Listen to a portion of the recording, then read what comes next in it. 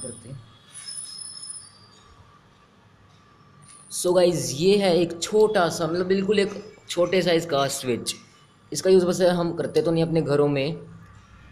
और मतलब ये छोटा स्विच मतलब जो हम मतलब छोटे मोटे प्रोजेक्ट्स वगैरह बनाते हैं मतलब डी मतलब डीसी जो मतलब डायरेक्ट करंट में जो हम प्रोजेक्ट्स बनाते हैं, उसमें मतलब इस स्विच का यूज़ किया जाता है। सो so, ये जो स्विच है मतलब काफ़ी छोटा है और मतलब इसमें काफ़ी सारे मतलब ये जैसे बड़ा स्विच होता है हमारे घरों का इलेक्ट्रिसिटी अप्लाइंसेस का इलेक्ट्रिकल अप्लाइंसेस का वैसा ही काम करता है। तो आज की वीडियो में हम क्या करेंगे स्विच के अंदर देखेंगे कि क्या होता है।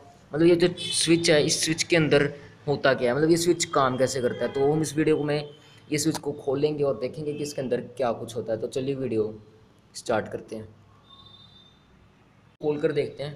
पहले मैं इसका जो रेड वाला जो स्विच है इसको ही उतार के देखता हूँ। इसको हम प्लायर की मदद से उतार देते हैं मतलब इसको खींच दूँगा मैं। और थोड़ा मुश्किल लग रहा है मुझे ये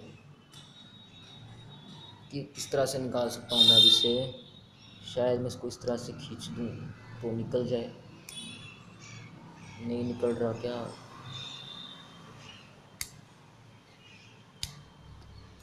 थोड़ा लूज़ हो गया, लेकिन निकल रहा अभी भी नहीं है।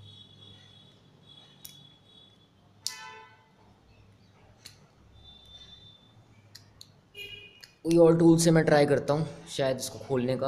प्लायर की मदद से तो खुलना नहीं। सो so गाइज़ अब मैं ये स्क्रू ड्राइवर की मदद से इसको खोलने की कोशिश करता हूँ। सो so, चलो इसको खोल कर देखते हैं यहाँ पर इसको कुछ इस तरह से मैं लगा देता हूँ। ये कुछ इस तरह से इसको यहाँ से मैं खींच सकता हूँ यहाँ पर। ये थोड़ा इजी है प्लायर में इतना इजी नहीं लगा मुझे। इसको उतार देते हैं पहले। कुछ इस तरह से ये देखो, कितना इजीली निकल गया। अब देखते हैं इसके अंदर होता क्या ये मतलब अक्सर में असल में काम कैसे करता है? तो देखो, ये निकल जाता है कुछ इस तरह से। रेड पार्ट ये देखो, यहाँ पर जो है, कुछ इस तरह से मतलब ये ये होता है मतलब यहाँ पे सर्किट जो है ऑन ऑफ़ करने के लिए। ये देखो, ये असल में क्या होता है, देखो।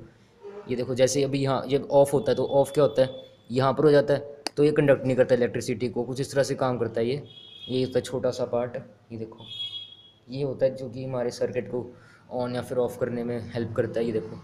कितना छोटा सा पार्ट है। ये होता है स्विच के अंदर, जो कि असल में हमारा काम करता है। और ये जो स्विच होता है ना, जिसको हम बटन को प्रेस करते हैं, जिसे बटन कहते हैं, इसके ऊपर ये ब्लैक पार्ट देख रहे हो एक? ये ब्लैक पार्ट मतलब इसको इसको मतलब पुश कर देता है। जब हम स्विच को प्रेस करते हैं तो ये पुश हो जाता है और ये ऊपर की ओर हो जाता है।